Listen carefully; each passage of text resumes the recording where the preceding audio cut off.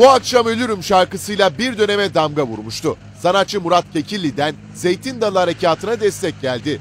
Kekilli savaşa hayır deyip terör destekçiliği yapanlara yüklendi. Türkiye'de yaşayıp Türk askeri ve Zeytin Dalı operasyonunu protesto edenler utanmadan beni tarafsız olmaya çağırıyor. Zulmün olduğu yerde tarafsızlık hainliktir, şerefsizliktir. Beni değil, terörü ve onun mucidi Amerika Birleşik Devletleri'ni eleştirin.